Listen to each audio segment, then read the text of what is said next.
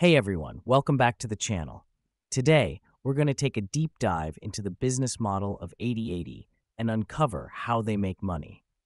If you've ever wondered about the strategy behind their car giveaways and product sales, you're in the right place. Let's get started. Before we dissect their business model, let's quickly go over what 80Eighty is all about. 80Eighty is an automotive apparel and accessories online retailer based in Utah, United States.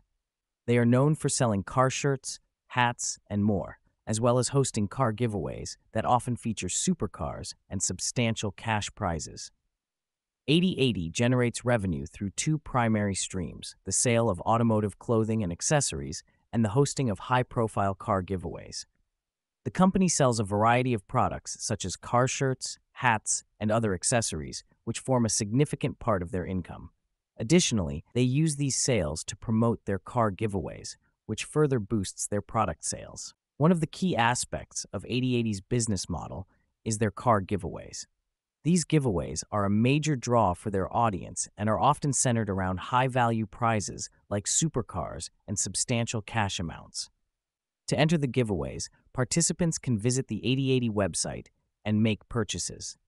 For every dollar spent, they receive automatic entries into the giveaway, and at times, 80Eighty offers entry multipliers to further incentivize purchases.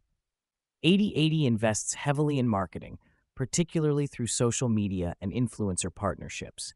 They work with YouTube influencers and other social media personalities, especially those with a focus on cars, to promote their products and giveaways. This strategy helps them reach a wider audience and attract more participants to their giveaways. So there you have it. 80Eighty's business model is built on a combination of product sales, high profile giveaways, and strategic marketing. By leveraging the popularity of car culture and the power of social media, they have carved out a unique space in the automotive retail industry. We hope you found this breakdown insightful. If you did, don't forget to give the video a thumbs up and subscribe for more content. Thanks for watching, and we'll see you in the next one.